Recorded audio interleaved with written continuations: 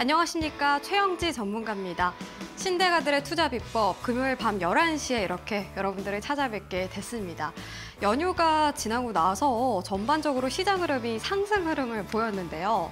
일단은 우리 연휴 동안에 휴장일이었죠. 휴장일 동안에 미국 증시가 전반적으로 살아나는 모습을 연출을 됐고요. 우리나라 증시에 긍정적이게 작용을 하게 되면서 투자 심리가 살아나게 되면서 이렇게 상승세가 지속이 됐습니다. 그리고 지난 밤이었죠. 미국에서는 경기 연착륙에 대한 기대감이 커졌는데요. 일단은 미국에서 고용 지표가 탄탄하게 나왔고요. 또 GDP 또한 호조세를 보이게 되면서 경기 연착륙에 대한 기대감이 커졌습니다. 이에 따라서 국내 증시도 오늘 상승 흐름을 보였는데요. 근데 제가 늘 말씀드리는 게 있습니다. 이렇게 상승 흐름을 보일 때 방심을 하게 되면은 여러분들 실수를 하실 수가 있습니다. 그래서 늘 경계심을 갖고서 보수적이게 대응을 하는 게 중요하다고 말씀을 드리고 있는데요. 우리 작년 시장만 생각을 해도 정말 머리가 아프죠. 반등이 나왔을 때 주로 dead cat bounce가 나오는 경우가 많았습니다. 이번에도 조금 더 시간이 흘러야지 우리가 확인할 수가 있겠지만 그럼에도 불구하고 방심하지 말고 대응하는 게 중요하다고 말씀드리도록 하겠습니다. 이러한 시장을 우리가 대응해 나가려면은 가장 중요한 전략이 있는데요. 저는 늘 현금 확보 전략을 말씀드리고 있습니다. 집중 투자를 하시는 분들이 많이 계시는데 물론 주식 투자라는 거는 중요해요. 중요하지만 일부 현금을 갖고 있어야지만 시장이 다시 한번 빠졌을 때 더 싼 가격에서 좋은 주식을 골라낼 수가 있습니다. 그렇기 때문에 여러분들도 현금 보유 전략도 꼭 기억을 하셨으면 좋겠고요. 또 한 가지가 더 있죠. 제가 늘 말씀드리는 건데요. 꾸준한 학습은 꾸준한 수익입니다. 여러분들의 학습을 위해서 오늘도 이렇게 주식 빨간 펜 시간으로 찾아오게 됐습니다.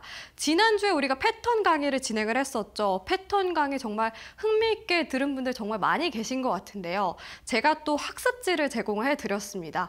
연휴 동안에 이 학습지 열심히 공부를 하시고 이 학습지를 통해서 투자에 적용을 해서 수익 보셨던 분들이 정말 많이 계셨습니다. 그리고 저도 최근에 이 패턴을 통해서 여러분들께 수익을 드렸던 경험이 있는데요. 이 패턴 학습지, 이 복습을 정말 많이 하시고 또 수익을 보신 분들이 많이 계신다고 해서 정말 뿌듯했습니다. 그런 의미에서 오늘도 역시나 알차게 학습지 준비해 왔습니다. 오늘 주식 빨간펜 학습지 받아가실 분들은요. 아래에 있는 QR코드가 있습니다. 여러분 핸드폰 이 카메라 어플리케이션 있잖아요. QR코드 찍어주시면 링크가 나오게 되는데요. 제가 운영하고 있는 톡방입니다. 이 톡방에 입장을 해주시면 은 여러분들께 학습지 제공해 드리고 있고요. 이 방법이 어렵다 하시는 분들이라면 문자도 가능합니다. 샵 3772번 제 이름 세 글자 최영지 남 남겨주시면 링크가 보내질 건데요. 그 링크 통해서 입장을 하시면 됩니다.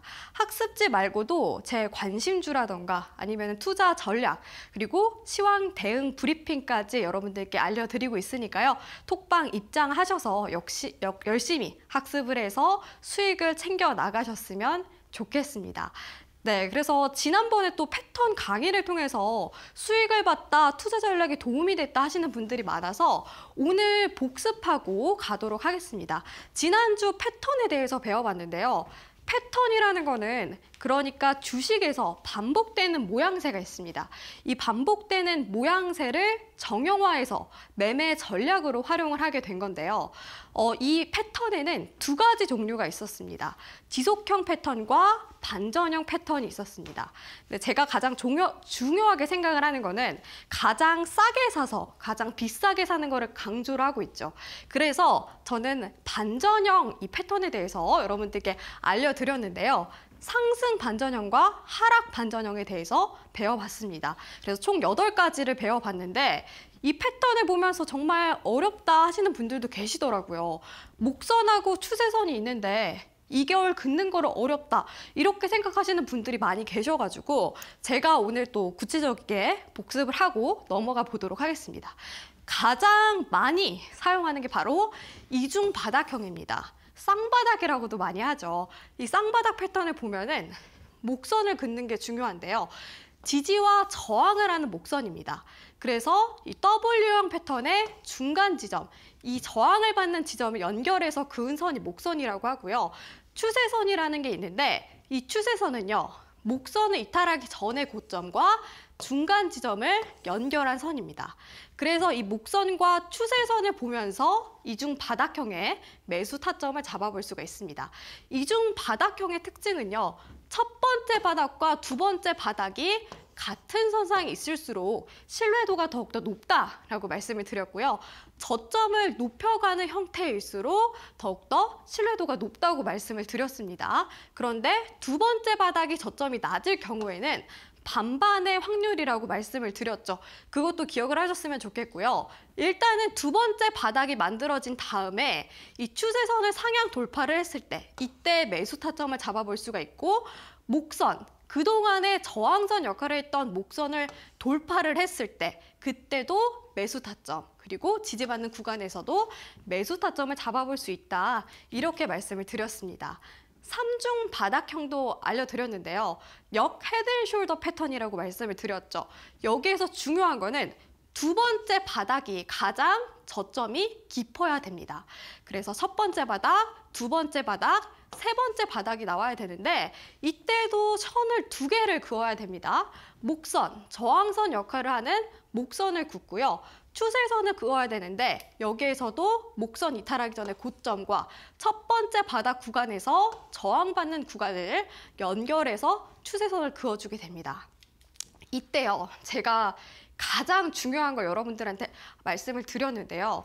기존의 이 삼중 바닥형 매매 타점 잡는 방법을 여러분들이 알고 계신 게 이 구간으로 알고 있어요. 근데 이 구간이 신뢰도가 떨어진다. 이거는 어, 신뢰도가 떨어지는 구간이라고 말씀을 드렸어요. 그래서 저는 세 번째 바닥이 만들어지고 난 뒤에 이 추세선 부근에서 지지받았을 때 이때 매수 타점을 잡아야지만 더욱더 신뢰도를 높일 수 있다 이렇게 말씀을 드렸습니다. 그 다음에 뭐 목선과 목선 지지 구간 이 구간에서 매수 타점을 잡아볼 수가 있겠죠. 어, 상승 삼각형이요. 여러분들이 가장 헷갈려하는 패턴이더라고요. 이 상승 삼각형을 여러분들이 분석을 하려면은 일단 일차적으로 저항선을 잘 그어야 됩니다. 저항선이라고 한다는 거는 이 주가가 일정 구간까지 올라갔을 때 저항받는 구간이 저항선이죠. 저항선을 먼저 그은 다음에 하단선을 봤더니 저점을 높여가는 상승 추세선이 형성이 됩니다. 그래서 이렇게 삼각형 모양이 만들어지게 되는 거죠. 점점 파동이 줄어들게 되면서 저항선을 강하게 돌파를 했을 때 이때 주가 추세가 상승 전환 가능성이 높기 때문에 매수 타점을 잡아야 된다고 말씀을 드렸습니다. 이거는 여러분들이 제가 제공해드린 학습지를 통해서 계속 반복적으로 복습을 하셨으면 좋겠어요. 이 상승 삼각형과 비슷한 게 바로 이 대칭 삼각형이 있는데요. 대칭 삼각형은 조금은 다릅니다. 저항선이 있는데 저항선은 고점을 낮춰나가는 하락 추세선으로 형성이 됐고요. 아래 하단선을 봤더니 저점을 높여나가는 상승 추세선이 형성이 됐습니다. 그래서 대칭을 이루는 삼각형이 형성이 됐는데 만약에 이렇게 파동이 작아지게 되, 다가 거래량이 감소를 하게 되잖아요. 그때는 지지 구간을 이탈하게 되면서 주가가 하락 추세로 전환이 될 가능성이 높고요. 거래량이 받쳐주고 증가를 했다 할 경우에는 저항선을 돌파를 하게 되면서 상향 전환 가능성이 높습니다. 그렇기 때문에 이 대칭 삼각형은 반반의 확률이고 상승 삼각형과 구분해야 된다고 말씀을 드렸어요. 하락 반전형에 대해서도 알려드릴 건데 우리가 하락 반전형을 더 잘 알고 있어야 돼요. 왜냐면은 우리가 지금 사실 시장에 많이 빠졌잖아요. 싸게 살 수 있는 종목이 많습니다. 싸게 사서 고점에 다가올수록 매도 타점을 잡아야 되는데 그거를 어려워하시는 분들이 정말 많더라고요. 그때 바로 이 하락 반전형 패턴을 활용하시는 게 좋습니다.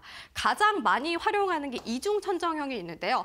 쌍봉 형태라고 하죠. 첫 번째 봉우리와 두 번째 봉우리가 만들어진 형태인데 이때도 목선과 추세선을 긋습니다. 목선은 지지받는 선이고요. 추세선은 아래에 있는 이 저점 구간과 어, 그리고 중간 지점 이 구간을 연결을 해서 추세선을 긋게 되는 겁니다. 이때 만약에 첫 번째 봉우리가 만들고 나서 두 번째 봉우리가 같은 지점에서 저항을 받는다면 은 이중 천정형일 가능성이 높은데 제가 이 이중 천정형 그리고 하락 반전형 패턴 같은 경우에는 기간이 또 중요하다고 했습니다. 이 봉우리의 간격이 적어도 한 달 이상이어야지만 더욱더 신뢰도가 높다고 말씀을 드렸어요.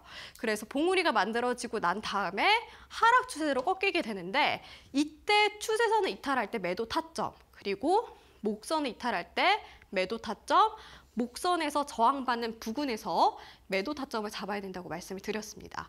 그리고 삼중 천정형이 있는데 이게 바로 헤드앤숄더 패턴이죠. 두 번째 봉우리가 가장 높게 형성이 돼야 됩니다. 그리고 첫 번째가 세 번째와 비슷한 선상에 있어야 되는데요. 이때도 목선과 추세선을 그어야 됩니다. 두 번째 봉우리가 고점이 높게 형성이 된 다음에 이 추세 선을 이탈을 하게 되잖아요. 그때는 매도 타점을 잡아봐야 됩니다. 왜냐하면은 점점 봉우리가 작아지게 되면서 하락 추세 전환 가능성이 높기 때문인데요. 그리고 나서 목선에서도 이탈을 했을 때 매도 타점, 목선에서 저항받은 구간에서도 매도 타점을 잡아볼 수가 있습니다.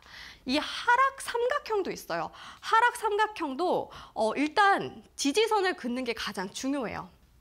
하락 반전형은요. 기존에 지지를 받던 구간을 이탈할 때 그때 매도 타점을 잡아볼 수가 있는데 먼저 이렇게 지지를 받는 주가에서 지지를 받는 구간을 선으로 긋습니다. 그리고 위에 고점이 점점 낮아지게 되는 상단선이 만들어지게 되는데 이렇게 모여서 하락 삼각형이 만들어지게 됩니다. 점점 파동이 줄어들게 되는데 이때 만약에 거래량이 감소를 하면서 지지선을 이탈을 하게 된다면은 주가가 하락 추세로 전환이 될 가능성이 높습니다. 그래서 매도 타점을 잡아봐야 되고요. 이 하락 삼각형 말고도 확장 삼각형이 있습니다. 사실 이 확장 삼각형이 여기에 있는 삼각형 중에서 가장 어려운 삼각형이긴 해요. 이걸 보자면 위에 일단은 고점 구간은 점점 높여가는 추세입니다. 그런데 아래에 있는 지지선 구간은 저점을 낮춰나가는 추세예요. 그리고 안에 있는 파동을 봤더니 작았다가 점점 커지게 되는데 점점 파동이 또다시 줄어들게 됩니다. 이때 탄력이 떨어졌다고 볼 수가 있겠죠. 거래량까지 감소를 하게 된다면은 지지선 구간을 결국에는 이탈을 하게 되면서 하락 추세로 전환을 하게 됩니다. 이런 식으로 여러분들이 패턴을 분석하는 연습을 꾸준히 해보셨으면 좋겠어요. 제가 이 학습지에 적어놓은 이 그림들만 먼저 살펴보시면서 눈에 익힌 다음에 그 다음에 주가 예시 차트를 살펴보면서 하나 하나 분석해 나가셨으면 좋겠습니다. 네, 오늘 그래서 본격적으로 오늘 강의에 대해서 어, 배워볼 건데요. 오늘 강의는요, 바로 이 스토캐스틱에 대해서 알아보려고 합니다. 여러분, 스토캐스틱 단타로 활용하시는 분들 굉장히 많이 봤는데요. 스토캐스틱은요, 정말 뭐 단타에서도 좋지만 여러분들이 중장기 투자를 할때 어, 싼 구간에서 사서 비싼 구간에서 매도를 할수 있는 전략으로도 활용할 수가 있습니다. 그래서 오늘 이 스토캐스틱 중장기적 관점부터 단기적인 관점까지 보는 방법을 알려드릴 건데요. 부제목으로 침체와 과열을 이용한 매매 타점이라고 적어놨습니다. 제가 앞에서도 말씀을 드렸었죠. 우리가 가장 중요하게 생각을 하는 거는 싸게 사서 비싸게 매도를 하자. 그게 중요한데 그거를 알려주는 게 바로 이 침체와 과열입니다. 이게 과연 어떤 건지 같이 알아보도록 하겠습니다.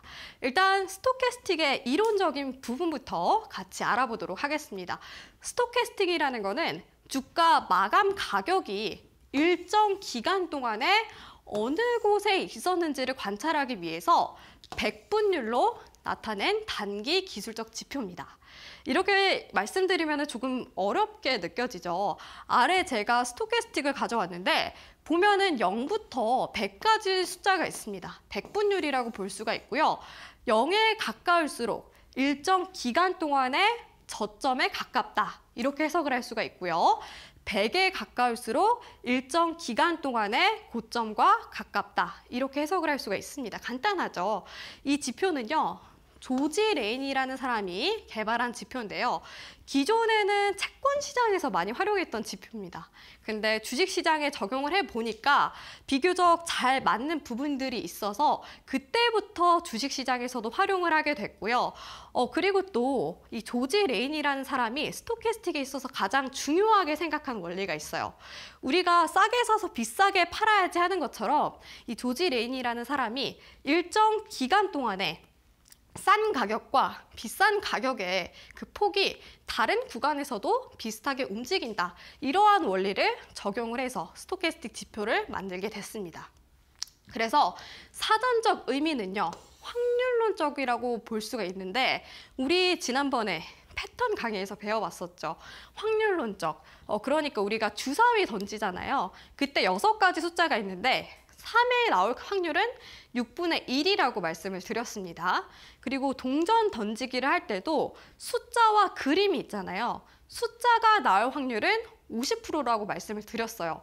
그게 바로 확률론이라고 볼 수가 있는데 이 확률론을 적용해서 만든 지표예요. 이 지표도. 그리고 과열권과 침체권을 판단할 수가 있습니다. 지표를 보면은 이 하늘색 구간이 침체권이고요. 주황색 구간이 과열권입니다. 이걸 보는 방법은 뒷부분에서 자세하게 알려드릴 건데요. 스토캐스틱에는 두 가지 종류가 있어요. 앞에 그림에서도 볼 수 있지만 위에가 패스트 스토캐스틱이고 아래가 slow stochastic인데 위에서는 촘촘하게 움직이고 아래에서는 완만하게 움직이죠. 이 차이를 일단은 첫 번째로 알 수가 있고요. 이 fast stochastic은요, 말 그대로 빠르게 우리가 볼 수가 있습니다. 변동성이 자주 발생하는 단기 매매에서 사용을 하게 되는데요. 여러분들이 좋아하는 단타, 단타 매매를 할 때도 많이 활용하는 지표고요. 급등주나 환율, 우리가 환율 정말 빠르게 움직이잖아요. 이런 것들을 분석할 때 사용할 수 있는 지표입니다. 근데 앞에서도 보셨다시피 워낙 빠르게 움직이다 보니까 침체권에 빠르게 들어갔다가 다시 또 나왔다가 과열권에 빠르게 가는 그러한 움직임들이 나오게 되는데 그러다 보니까 분석에 역시나 어려움을 느끼게 됐는데요. 이거를 보완해서 만든 게 바로 이 slow stochastic입니다. 그래서 잦은 변동으로 판단이 어려울 때 사용을 하게 되고요. 주가 움직임 특성을 파악하기 좋은데 사실 주식 투자를 하시는 분들이라면 뭐 단타 매매든 중장기 매매든 이 slow를 사용하시는 분들이 많이 계십니다. 그리고 저도 이 slow를 더 많이 활용을 하게 돼서 뒷부분에 이 슬로우를 활용한 매매법을 같이 알려드리도록 하겠습니다. 그래서 일단 어, 두 가지 종류가 있는데 공식이 또 있어요. 공식. 사실 좀 공식이 어렵기는 해요. 근데 이거를 여러분들이 다 암기를 하고 외워라. 이 뜻이 아니라 이 공식을 여러분들이 이해를 해야지만 이 지표를 분석을 할 때더 도움이 되기 때문에 제가 간단하게 알려드리도록 하겠습니다. 스토캐스틱을 자세히 보면은 두 가지 선이 있어요. 이 주황 색깔 퍼센트 K 선이 있고요. 그리고 보라 색깔 퍼센트 D선이 있습니다. 퍼센트 K선 움직임이 사실 가장 중요한데 그래서 이 공식을 알려드리자면 여기 중간에 선이 있어야 돼요. 당일 종가에서 N일간의 최저가를 일단은 빼요. 그 다음에 N일간의 최고가 빼기 N일간의 최저가로 나누게 됩니다. 거기에다 곱하기 100을 한 게 이 퍼센트 K선이라고 볼 수가 있는데 예를 들면은 보통 키움증권에서는 5일로 설정이 돼 있어요. 5일로 설정이 돼 있어서 당일 종가가 고점이라고 칩시다. 5천원, 5천원으로 마감을 했고 N일간, 5일간의 최저가가 4천원이라고 합시다. 그리고 N일간의 최, 최고가, 어, 종가라고 했죠. 5천원. 그리고 어, 최저가는 4천원일 경우에는 위에가 천 원이 나오게 되죠. 그리고 아래도 천 원이 나오게 됩니다. 그러면은 두 개를 나눴을 때 1이 나오게 되죠. 1 곱하기 100은 100%가 나오게 됩니다. 100분율로 100%가 나오게 되죠. 그러면 5일 동안의 주가 중에서 오늘이 제일 높은 가격이기 때문에 이 100의 위치에 이 스토캐스틱이 형성이 되게 됩니다. 그렇다면은 이 퍼센트 D선은 뭘까요? 이 퍼센트 D선은요. 어, 퍼센트 K선이 비교적 빨리 움직이기 때문에 그거를 조금 더 완만하게 판단할 수 있는 지표입니다. 그래서 이 퍼센트 K선을 M1로 이동 평균한 것인데 이거는 지수 이동 평균입니다. 주로 이 M1은 어, 키움증권에서는 3일로 설정이 돼 있어요. 기본으로. 그래서 3일로 이동 평균한 것이라고 볼 수가 있습니다. 네, fast에 대해서 알아봤고 slow stochastic 공식도 있습니다. 근데 이거는 비교적 간단해요. 우선은 이 퍼센트 K선, slow stochastic의 퍼센트 K선은 어, fast stochastic의 퍼센트 D선의 공식과 같습니다. 같아요. 그래서 넘어갈게요. 아래 부분은 어, 퍼센트 D선인데 여기에서도 역시나 이동 평균을 하게 됩니다. 그래서 slow 퍼센트 K를 이 T 기간으로 이동 평균한 게 이 퍼센트 D선이라고 볼 수가 있는데 키움증권을 중심으로 봤을 때 어, 12, 5, 5 이렇게 설정이 많이 돼 있어요. 10일간의 주가를 판단을 하고 그리고 5일 기간으로 이동 평균한 이 지표라고 볼 수가 있겠습니다. 제가 이 기본으로 설정이 된 걸 알려드리는 이유가 뭐냐면은 저만의 또 설정 방법이 있거든요. 그거는 어, 뒷부분에 알려드리게 될 건데 일단은 어, 오늘 지금 1부는 여기서 마무리를 짓게 될 건데요. 여러분들이 오늘 학습지 받아가서 열심히 복습하셔야지만 투자에 적용할 수가 있겠죠. 뒷부분의 활용법도 자세하게 알려드릴 거니까요. 채널 고정해 주시고요. 2부에서 찾아뵙도록 하겠습니다.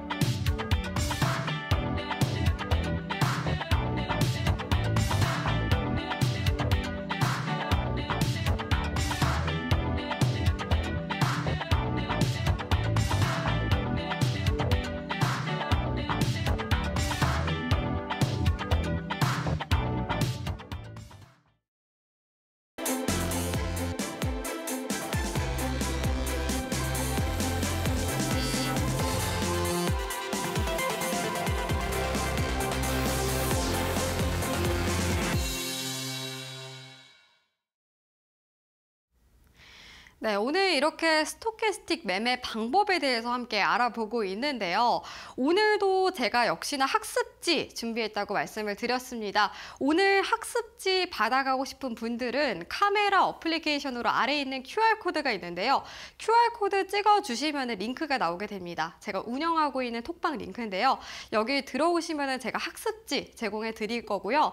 이 방법이 어렵다 하시는 분들이라면 문자도 가능합니다. 샵 3772번 1번 제 이름 세 글자 최영지 보내주시면 링크가 보내질 겁니다. 링크 통해서 입장해 주시면 되는데요. 여러분들이 지금까지 배운 것들이 조금 어렵다면 은이 학습지에 조금 더 쉽게 풀어서 설명이 있습니다. 학습지 주말 동안 복습하시면서 다음 주에 투자에 적용해 보셨으면 좋겠습니다. 그렇다면 본격적으로 스토캐스틱 활용 방법에 대해서 알려드릴 건데요. 되게 간단하게 알려드릴 겁니다. 일단은 이 과열권과 침체권을 통해서 매수 타점과 매도 타점을 잡는 방법을 알려드리겠습니다. 어, 0부터 100까지 숫자가 있다고 했잖아요. 이때 0에 가까울수록 저가에 가깝다 말씀을 드렸고 100에 가까울수록 고가에 가깝다 이렇게 말씀을 드렸습니다. 퍼센트 K선을 기준으로 봐야 되는데 만약에 이 퍼센트 K선이 20을 밑돌게 되면은 과매도 국면이라고 볼 수가 있습니다. 20을 밑돌 경우에는 보통은 이렇게 주황 색깔로 색칠이 돼 있어요. 매도세가 강하게 나오는 구간이기 때문에 주가가 하락을 하게 되면서 계속해서 내려가게 되겠죠. 근데 주가라는 게 계속해서 매도세가 나오는 건 아니잖아요. 어느 정도 매도세가 줄어들게 되면서 다시 또 매수세가 유입이 되고 반등이 나오게 되는데 그 구간을 알 수 있는 게 바로 이 침체권입니다. 그리고 80을 돌파했을 경우 그 경우에는 과열권이라고 볼 수가 있어요. 과매수 국면인데 주가가 계속 상승을 하게 되잖아요. 그럼 매수세가 계속 유입이 되는데 매수세도 어느 정도 시간이 지나면은 점점 줄어들게 되겠죠. 그렇게 되면서 주가 탄력이 떨어지게 되고 주가는 꺾이게 되는데 그거를 판단할 수 있는 게 과열권이라고 볼 수 있습니다. 그래서 이 과매도 상태 20을 침체권 구간에서 만약에 20을 상향 돌파를 할 때 그때는 매수를 검토해 봐는 지점이고요. 그리고 위에 과열권, 과매수 상태에서 80을 하향 돌파했을 경우에는 매도를 검토해 봐야 된다. 이렇게 볼 수가 있습니다. 예시 차트를 보면서 설명해 드리도록 할게요. 이녹스 첨단 소재 차트인데요. 우리가 지난번에 배웠었던 쌍봉 형태가 나오게 됩니다. 이때 스토캐스틱을 같이 보도록 할게요. 주가가 정배열 형태로 계속해서 상승을 하게 되는데 이때 고점을 찍게 되죠. 스토캐스틱을 보니까 과열권에 진입을 합니다. 80을 웃도는 수치를 기록하게 된 거죠. 그러면서 주가가 다시 꺾이게 되면서 80을 이탈하게 됩니다. 이때 우리가 매도를 검토를 해봐야겠죠. 그러다가 주가가 하락세를 보이면서 과매도 국면까지 침체권까지 내려오게 됩니다. 이 구간인데 근데 계속해서 매도세가 나오지는 않는다고 했죠. 어느 정도 매도세가 줄어들게 되면서 매수세가 유입이 되고 어, 이렇게 반등하는 모습이 나오게 됩니다. 스토캐스틱 역시 이 침체권을 벗어나게 되죠. 이때 또 매수를 검토해 볼 수가 있습니다. 그러다가 또 두 번째로 이 봉우리가 두 번째 만들어졌을 때 또 과열권에 진입을 하게 되죠. 이때 과열권에 이탈했을 때는 진짜 매도 타점을 잡아봐야 된다. 이렇게 해석을 할 수가 있습니다. 가장 간단하게 보는 방법을 알려드렸는데요. 이제 본격적인 매매법을 알려드릴 겁니다. 그래서 제가 설정하는 방법을 알려드릴 건데 저는 slow stochastic을 많이 본다고 말씀을 드렸어요. slow를 많이 보고 기본적으로 키움증권에서는 1255로 설정된 경우가 많이 있습니다. 근데 저는 조금 더 완만하게 봐야지 더욱더 신뢰도가 높은 차트라고 어, 보는 사람이기 때문에 조금 더 완만하게 설정을 했습니다. 여러분들 키움증권에 들어가 보시면은 이렇게 지표 조건 설정이 나오게 되는데 여기에서 기존에는 1255로 설정이 돼 있어요. 근데 저는 25, 66 이렇게 설정을 해놨습니다. 그래서 위에 기본 설정과 저만의 설정을 비교를 해보면은 제게 더 완만하게 움직인다는 걸 볼 수가 있고요. 그리고 또 위에 것보다 침체권과 과열권에 머무는 그 기간이 많지가 않죠. 위에 보면은 이렇게 과열권에 머무는 구간이 있는데 제가 설정한 거는 완만하게 움직이기 때문에 과열권이 나오지 않아요. 이 그렇듯 더욱더 신뢰도가 높고 우리가 천천히 판단을 할수 있는 지표라고 볼 수가 있습니다. 여러분들이 이 강의를 듣고 나서 설정을 해 보셨으면 좋겠고요. 본격적으로 매매법을 두 가지를 알려드릴 건데 첫 번째로는 교차에 대해서 알려드리도록 하겠습니다. 우리 이동평균선이나 뭐 일목균형표 배웠을 때도 교차 되게 많이 나왔었죠. stochastic에서도 이 교차가 있습니다. 골든 크로스와 데드 크로스가 있는데요. 이 stochastic에는 두 가지 선이 있었죠. 퍼센트 K선과 퍼센트 D선이 있었습니다. 이 두 가지 선을 알고 있어야 되는 이유가 바로 이 크로스 매매 방법을 알기 위해서예요. 그래서 보면은 이 퍼센트 K 주황 색깔 선이 퍼센트 D를 상향 돌파를 할 때 그때는 골든 크로스다라고 볼 수가 있겠고 하향 돌파를 하게 된다면은 데드 크로스입니다. 그런데 여기에서 중요한 부분들이 있습니다. 우리는 더욱더 신뢰도가 높고 더욱더 확률 높은 매매를 하는 게 중요하죠. 보통 이 크로스가 침체권과 과열권에서 나오는 경우가 많습니다. 제가 아래 그림을 그려놨는데 이렇게 20을 밑도는 침체권에서 골든 크로스가 발생을 하고 그리고 과열권 구간에서 데드 크로스가 발생하는 경우가 많아요. 그런데 이 구간보다 더욱더 확률을 높일 수 있는 방법이 있습니다. 뭐냐면은 골든 크로스는 30에서 50%에서 발생을 했을 때 신뢰도를 더 높일 수가 있고요. 데드 크로스는 50에서 70%에서 나왔을 때 신뢰도를 더 높일 수가 있습니다. 이게 어떤 의미냐면은 기존의 침체권에서 나왔던 골든 크로스가 이 사이 구간에서 나왔을 경우 더욱더 신뢰도가 높고 강한 이 상승이 나올 가능성이 높고요. 데드크로스 같은 경우에도 과열권 구간보다는 이 50에서 70 구간 여기에서 발생을 했을 때 더욱더 강한 하락이 나올 가능성이 높습니다.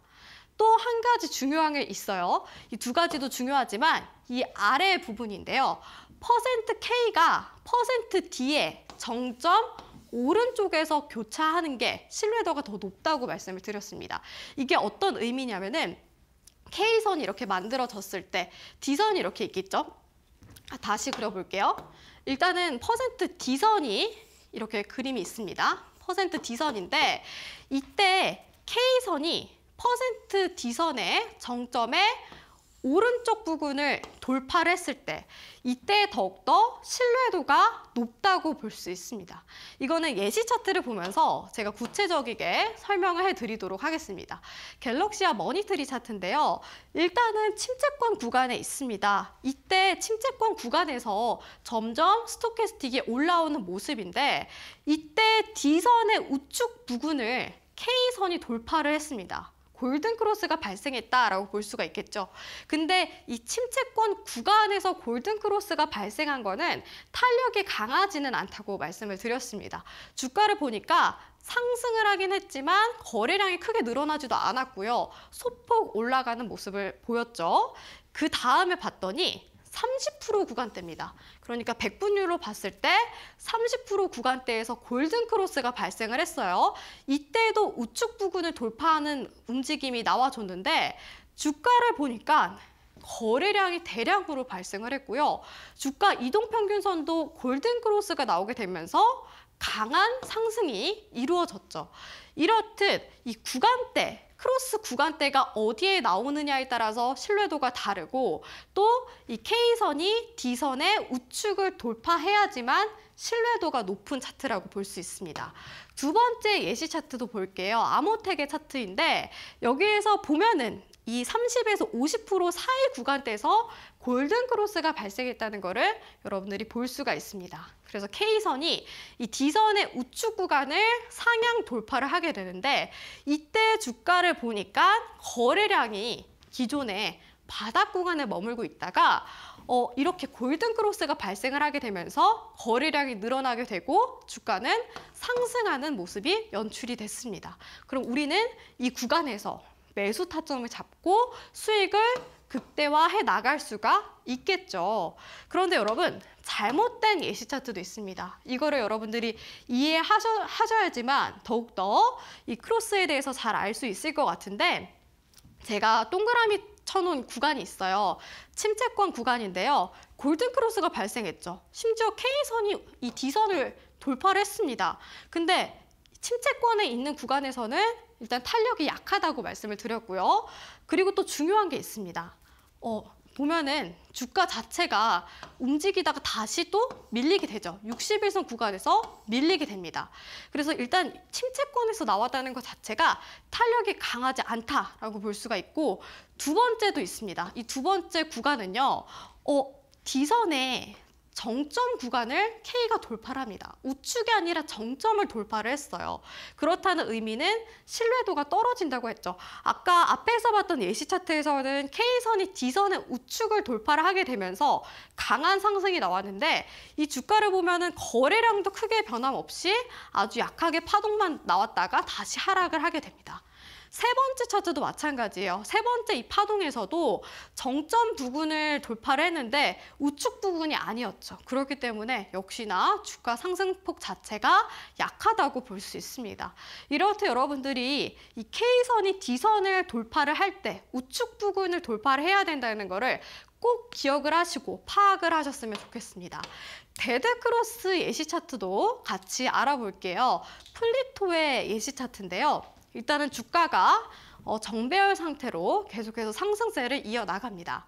이때 stochastic의 패턴이 또 있어요.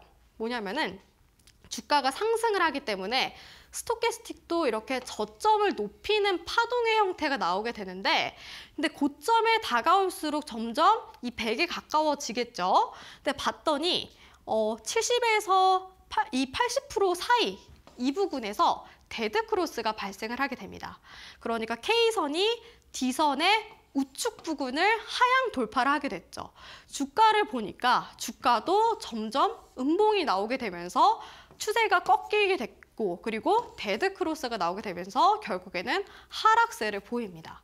이렇게 데드 크로스도 K선이 어느 구간에서 돌파를 하는지 그게 중요하다 이렇게 볼 수가 있고요. 두 번째 예시 차트도 볼게요. 오픈 베이스의 차트인데 제가 데드 크로스 두 개를 그어놨습니다. 일단은 앞에서 말씀드렸던 이렇게 파동이 나온 다음에 데드 크로스가 나온 구간이 있어요.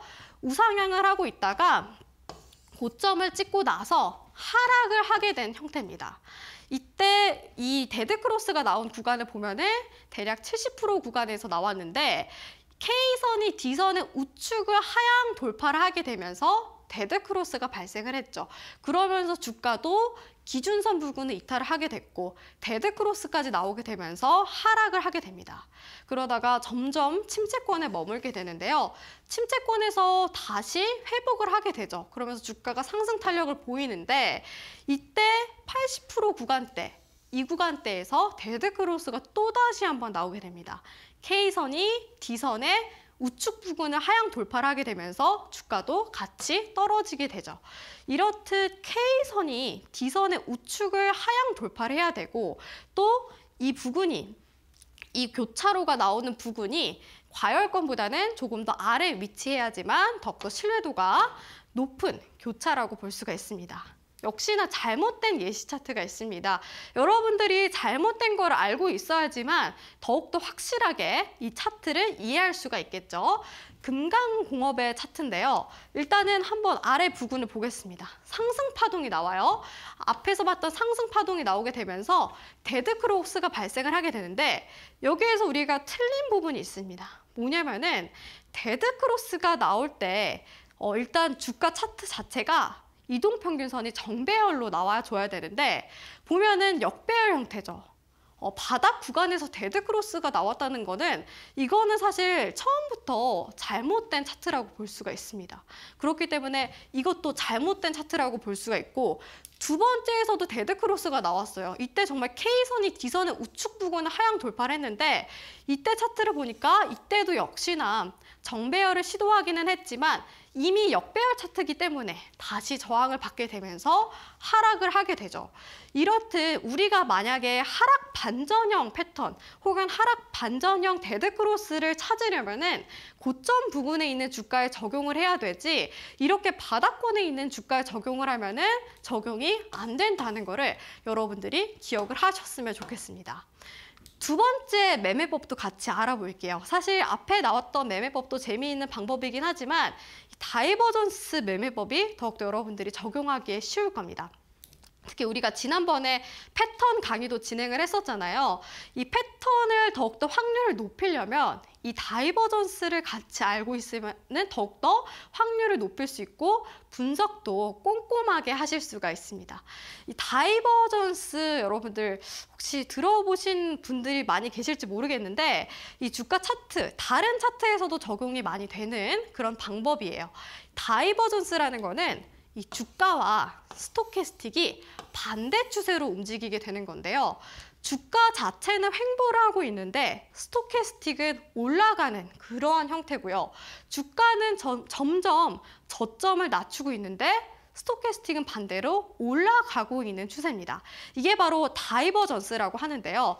이 주가와 stochastic이 반대로 움직이게 될 경우에는 주가가 추세 전환 시그널이라고 볼 수가 있습니다. 기존의 하락 추세에 있는 주가는 반대로 상승할 가능성이 높고요. 그리고 상승을 하고 있던 주가는 하락할 가능성이 높습니다. 그래서 상승형과 하락형 divergence가 있는데 이 divergence에서도 크로스까지 활용을 하게 된다면 더욱더 신뢰도를 높일 수가 있습니다. 상승 divergence부터 알려드리도록 할게요. 제가 여러분들이 이해하기 쉽게 그림을 가져오게 됐습니다. 어, 보면은 우리 지난번에 배웠던 쌍바닥 패턴이죠. 네, 쌍바닥 패턴이 저점이 같은 선상에 있을수록 신뢰도가 더 높다고 말씀을 드렸는데 두 번째 바닥이 더 아래에 있게 되면은 신뢰도가 비교적 떨어진다고 말씀을 드렸습니다. 주가를 보니까 쌍바닥은 맞는데 두 번째 바닥이 첫 번째보다 더 낮게 형성이 돼 있죠. 아, 그래서 아, 고민이 됩니다. 어, 쌍바닥은 맞는 것 같은데 저점이 두 번째 바닥 저점이 더 낮아서 고민을 하게 되는데요. 이때 stochastic을 보니까 stochastic은 첫 번째 바닥보다 두 번째 바닥이 더 저점이 높아졌다는 걸 볼 수가 있죠. 이게 바로 divergence라고 볼 수가 있습니다. 만약에 이러한 현상이 나왔을 경우에는 주가가 상승 전환을 할 가능성이 높다고 볼 수가 있고요. 어, 그리고 하락 divergence도 알려드릴게요. 우리 지난번에 쌍봉 배웠었죠. 어, 쌍봉 배웠는데 주가에서 이렇게 첫 번째 봉우리와 두 번째 봉우리가 만들어지게 됩니다. 근데 첫 번째 봉우리보다 두 번째 고점이 더 높게 형성이 됐죠.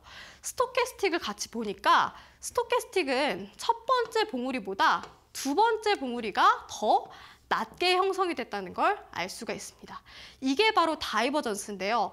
만약에 고점 부근에서 이런 divergence가 나오게 된다면 하락으로 전환이 되면서 하락 추세를 볼 가능성이 높습니다. 예시 차트를 보면서 더 구체적이게 설명해 드리도록 하겠습니다. 일단은 상승 divergence 먼저 볼 건데요. 다날의 차트입니다. 우리 지난번에 배웠던 쌍바닥을 적용을 해서 같이 보도록 할게요. 보면은 쌍바닥이 이렇게 나오는데 첫 번째 바닥과 두 번째 바닥이 나타났죠. 목선도 제가 그어놨습니다. 목선을 제가 그어놨는데 이때 보니까 두 번째 바닥이 첫 번째에 비해서 더 낮게 형성이 됐다는 걸 알 수가 있어요. 그래서 여러분들이 또 고민을 하게 될 겁니다. 이렇게 쌍바닥이 나오게 되는데 두 번째 저점이 더 낮, 낮은 경우에는 이거를 매수 타점을 어떻게 잡아봐야 될지 고민을 할 때 그때 스토캐스틱을 같이 보면 좋은데요. stochastic을 보니까 첫 번째 바닥은 침체권에서 만들어졌고 두 번째도 침체권에서 만들어지게 되는데 보면은 이 첫 번째보다 두 번째가 저점이 더 높아졌다는 걸 알 수가 있습니다. 바로 divergence죠. 주가 차트, 향후의 주가 차트를 보니까 거래량이 급격하게 늘어나게 되면서 주가가 상승 추세로 전환이 됐습니다. 이렇듯 우리가 쌍바닥 패턴을 더욱더 신뢰도를 높게 분석을 하려면 스토캐스틱도 함께 보는 게 중요하다고 볼 수가 있고요. 두 번째 예시 차트도 같이 볼게요. 여기에서도 쌍바닥이 나오게 됩니다. 이 차트는 한세 실업의 차트인데 보면은 주가 목선을 그어 놨고요. 쌍바닥 첫 번째 바닥, 두 번째 바닥이 나오게 되는데 두 번째 바닥이 더 낮게 형성이 됐다는 걸 알 수가 있습니다. 그래서 아, 신뢰도가 높은 쌍바닥은 아닌데 매수 타점을 잡아봐야 되나 고민을 하게 됩니다. 근데 이때 stochastic을 보니까 첫 번째보다 두 번째 저점이 더 높아졌다는 걸 알 수가 있는데요. 이게 바로 상승 divergence라고 볼 수가 있습니다.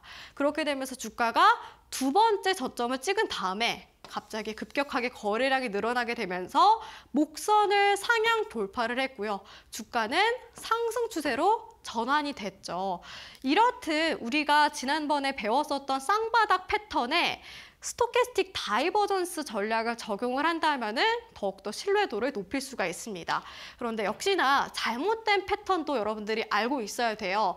어, 잘못된 예시인데 삼성 SDI의 차트입니다. 일단은 여기에서 잘못된 부분이 뭐냐면은 여러분들이 상승 반전을 하는 패턴일 경우에는 그럴 경우에는 바닥 구간에서 점점 올라오는 형태여야 되는데 이 차트를 보시면은 주가 자체가 이동평균선이 역배열 차트가 아니죠. 거기서부터 일단은 잘못됐습니다. 그래도 분석을 해보는 게 좋을 것 같아서 제가 가져왔는데 목선 부근을 그어놨고요. 이렇게 바닥의 형태가 나왔어요. 쌍바닥이 형성이 됐는데 이때 보면은 어, 첫 번째 바닥이 더 깊게 형성이 되고 두 번째가 더 얕게 형성이 돼요. 이 부분도 일단은 잘못됐고요. 스토캐스틱을 보니까 주가랑 똑같이 움직이게 되죠. 첫 번째가 더 깊게 형성이 됐고 두 번째가 더 얕게 형성이 됐습니다. 이렇게 주 주가와 스토캐스틱이 똑같은 움직임을 보이는 것 자체도 잘못된 차트라고 볼 수가 있습니다. 그래서 여러분들이 상승 반전을 찾을 때는 역배열인 차트에서 찾아야 된다는 거를 꼭 기억을 하셨으면 좋겠고요. 자, 그러면은 우리 하락 divergence도 같이 알아보도록 하겠습니다. 하락 divergence는 그렇다면은 고점 부근에서 나온 형태라고 볼 수가 있겠죠. 이 차트를 보면은 일단 골든크로스가 발생하고 나서 주가가 저점을 높이면서 계속 상승을 하게 됩니다. 근데 이때 파동 보이시죠? 이때 파동에서 어, 스토캐스틱을 보니까 과열권까지 올라왔다가 내려오게 돼요.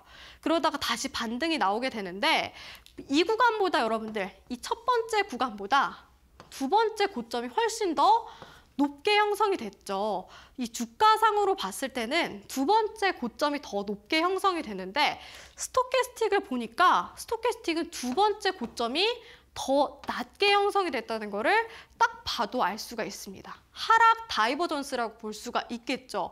그러고 나서 주가를 보니까 이후에 하락으로 전환을 하게 되면서 결국에는 데드 크로스까지 발생을 했고 주가가 계속해서 하락을 하게 됩니다. 이게 바로 하락 divergence라고 볼 수 있고 두 번째 예시 차트도 같이 볼게요. 후성의 차트인데 여기에서 일단은 우리가 봐야 될 게 이 부분입니다. 주가가 역배열로 형태가 돼 있어요. 역배열로 형태가 돼 있는데 주가가 이때 파동이 한번 나와줘요. 파동이 한번 나와줘서 아 이때 골든 크로스 발생을 했고 이, 이, 이 정도면은 뭐 고점은 아직 아닌 것 같은데 라고 생각을 하게 됩니다. 근데 스토캐스틱을 보니까 이 역배열이던, 역배열이었던 이 고점보다 두 번째로 형성이 된 이 고점이 더 낮게 형성이 됩니다. 바로 이게 하락 divergence라고 볼 수가 있겠죠. 이후에 주가 차트를 보니까 연속적으로 음봉이 나오게 되면서 결국엔 다시 데드 크로스가 나오게 되고 하락 추세로 전환이 됩니다. 이렇듯 주가와 이 stochastic의 움직임이 반대로 움직였을 때 그때 divergence 매매 전략이라고 말씀을 드리겠고요. 잘못된 예시 차트도 가져왔습니다. GS의 차트인데요. 일단은 잘못된 부분이 뭐냐면은 제가 동그라미 쳐놓은 구간에서 쌍봉이 나오게 되는데 이 쌍봉의 형태 자체가 역배열로 만들어져 있죠. 이 부분 자체가 일단은 잘못된 차트라고 볼 수가 있고요. 보시면은 첫 번째로 이렇게 고점이 만들어지게 되는데 이동평균선 120일선 부근에서 저항을 받으면서 하락을 하게 되죠. stochastic을 보니까 과열권까지 올라가기는 했지만 다시 밀리게 됩니다. 그러다가 두 번째 파동이 나오게 되는데 그래도 첫 번째보다는 두 번째 파동이 고점이 더 높아요.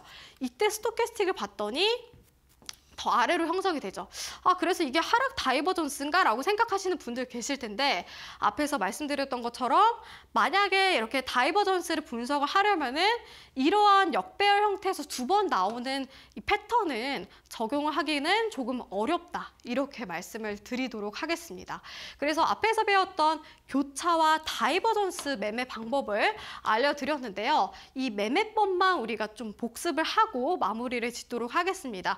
교차 활용법은요. 일단은 골든크로스와 데드크로스를 배워봤는데 골든 크로스는 어, 이렇게 K선이 D선의 우측을 돌파했을 때 골든 크로스, 데드 크로스는 K선이 D선의 우측 부근을 하향 돌파를 했을 때 그때 데드 크로스라고 말씀을 드렸어요. 근데 이 발생하는 구간이 중요하다고 말씀을 드렸습니다. 골든 크로스는 20과 50 사이 이 부분에서 발생해야지 더욱더 강력하고요. 데드 크로스는 70과 50 사이를 이 사이에서 발생을 해야지만 더욱더 강력하게 발생한다. 이렇게 말씀을 드렸습니다. divergence도 알려드렸는데 주가와 stochastic이 반대로 움직일 때 그때 divergence라고 말씀을 드렸어요. 쌍바닥 형태가 나왔는데 두 번째 바닥이 더 아래 형성이 됐을 때 stochastic은 저점이 더 올라가게 된다면은 매수 타점을 잡아볼 수가 있고요. 반대로 고점이 이렇게 두 개가 만들어져 있는데 고점을 올려가고 있어요, 주가는. 근데 stochastic은 고점을 점점 낮춰 나간다면은 이게 바로 divergence다 이렇게 말씀을 드렸습니다. 네, 우리 이제 오늘 배운 것들 복습해 보시기 위해서 오늘 꼭 학습지 받아 가셨으면 좋겠고요. 아래 있는 QR 코드 통해서 톡방 입장해 주시면 학습지 제공해 드리도록 하겠습니다. QR 코드 입장 어려우신 분들은 문자 샵 3772번 제 이름 세 글자 최영지 남겨주시면 링크 보내드리도록 하겠습니다. 오늘 강의는 여기서 마무리 짓도록 하겠습니다. 오늘도 시청해 주셔서 감사합니다.